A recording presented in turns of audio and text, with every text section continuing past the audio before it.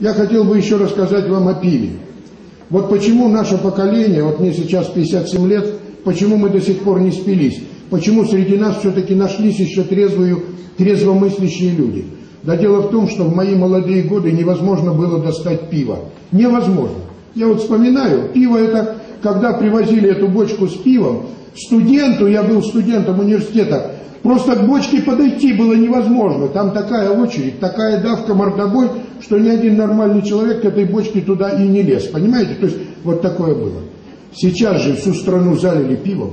А пиво это наркотик для молодежи. Это для детей и молодежи наркотик. Вот это для кого все это пиво идет. Причем у нас в стране единственная страна в мире, где пиво было выведено из разряда алкогольных изделий. Оно не считалось алкогольным изделием. Ради Бога, продавайте в школе, в детском саду. Это все, это все было безалкогольное изделие. Пиво у нас считалось. Вот. А дело в том, что пиво – это настолько страшная вещь, пивная алкоголизация нашей молодежи. К приварке пива добавляется хмель. А когда варится хмель, из него вывариваются вещества, называемые эстрагоны. Эти вещества эстрагоны очень сильно, практически идентичны женскому половому гормону э, эстрогену. И когда молодой человек, мужчина, пьет пиво, пьет пиво, у него в крови нарушается гормональный состав. У него появляется очень много женских гормонов, эстрогенов. У него смещается гормональный состав в сторону женского начала. В сторону женского начала. Кстати, я всегда в 11-10 классе спрашиваю. Я говорю, вы знаете, чем отличается мужчина от женщины? Ну, ха-ха-ха, вжали. Что за дурной вопрос? Я говорю, ха-ха-ха, это правильно, вы ха-ха-какаете. Да, действительно, мужчина родился мальчиком, а женщина родилась девочкой. Но не только и не столько этим мужчина отличается от женщины, не столько этим. Основное отличие мужчины от женщины заключается в том, что у мужчины в крови в основном циркулируют мужские гормоны. Называются эти гормоны, кто знает? Тестостерон, совершенно верно. Тестостерон. А вот у женщины в основном в организме это два женских гормона. Это гормон прогестерон, прогестерон и гормон тестостерон. Ой, и гормон эстрадиол.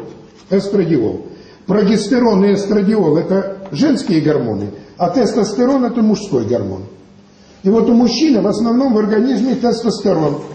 И поэтому мужчина – мужчина. Вот я мужчина. У меня основной гормон – тестостерон. У меня мужской голос, у меня мужской характер, у меня мужская фигура, у меня мужские наклонности. Мне нравятся особы противоположного пола. Это, кстати, тоже определяется именно наличием тестостерона в крови и так далее. А у женщины основной гормон – это прогестерон. И поэтому она женственна. Она кокетлива, хочет нравиться мужчинам, это тоже от, от этого гормона зависит у нее. У нее женская фигура, плечи, раздвинут, так сказать, увеличенный таз, это все тоже, это гормоны, эти гормоны за это отвечают. У нее материнский есть инстинкт, он тоже обусловлен вот этим прогестероном. А теперь смотрите, мужчина начинает употреблять алкоголь. Он употребляет алкоголь, и возникает явление, которое в науке называется феминизация алкоголиков. В чем заключается феминизация алкоголиков?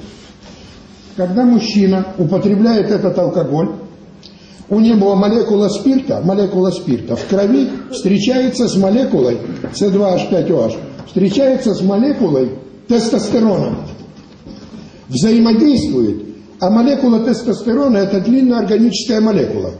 И спирт отрывает от нее один углеродный комплекс, и тестостерон превращается в эстрадиол. То есть напрямую в крови превращается мужской гормон в женский. И у него смещается гормональное равновесие. И алкоголик на глазах превращается в женщину. Превращается. У него тончает голос, у него теряется мужество в характере, он начинает делаться пугливым. У него пропадает интерес к женщинам, пропадает, нету этого гормона, который за это отвечает. У него фигура начинает меняться, сжиматься плечи, раздаваться таз. А что происходит с женщинами, которые употребляют алкоголь? У них в крови молекула спирта встречается с молекулой прогестерона. Прогестерона. Идет химическое взаимодействие, и молекула спирта отрывает два углеродных комплекса от молекулы прогестерона. И прогестерон превращается в тестостерон. И у женщин-любителей алкоголя идет явление, которое в науке называется маскулинизация алкоголичек, то есть превращение любителей спиртного в мужиков. У них нарастает количество мужского гормона, у них пропадает кокетство, то есть желание нравиться мужчинам сразу пропадает, нет этого гормона. У них пропадает инстинкт материнства, потому что это тоже от гормонов зависит. У них пропадает, у них фигура меняется. У них сразу плечи, грубеет голос. Вы посмотрите, женщин, которые за пивом стоят, и женщины, которые за дорогой косметикой стоят. Они даже внешне совершенно разные женщины, хотя, казалось бы, и те, и другие. У одних в крови женские гормоны, а у этих гормоны уже, уже мужские. И идет вот этот процесс маскулинизации алкоголичек и феминизации женщин. Это все, так сказать, давным-давно в науке известный совершенно процесс. Так вот, пиво это самое страшное явление, вещь, которая превращает мужчин, превращает их в импотентов. Самая мощнейшая вещь – это пиво. Почему? Потому что в пиве содержатся эстрагоны, это практически эстрадиол. И напрямую сразу в кровь, у него в крови превращается в женский гормон. И любитель пива, кстати, Чехия, это страна, которая больше всех пострадала от пива. У них есть поговорка – Любитель пива подобен арбузу. У него растет пузо и сохнет кончик. Сохнет кончик. И вот вы обратите внимание, была Олимпиада, и шла реклама пива. И как только реклама пива, сразу за рекламой пива шла реклама э, этих самых возбуждающих мужских таблеток против импотенции. Пиво, золотой конек, пиво, золотой, так, вот обратите внимание, они в связке идут, потому что у него полностью пропадает. Он становится к 35 годам, человек, который начинает в 15 лет пиво пить, он 35 лет точно абсолютно импотент. И у него даже желания нет, у него желание к женщинам полностью пропадает. Недаром говорят, наши женщины ездят куда-то туда на юг, в этот Эмираты, чтобы посмотреть на настоящих мужчин. Конечно, естественно. Потому что эти любители пива, это же ну, импотенты, то есть с ними, о чем с ними можно говорить? И что страшное, когда женщина начинает пить пиво, это еще более страшная вещь. Дело в том, что у женщины должен быть определенный процент этого гормона в крови. Но когда она пьет пиво, у нее резко возникает избыток эстрадиола. А избыток эстрадиола делает из женщины, из нормальной русской девушки, агрессивную самку.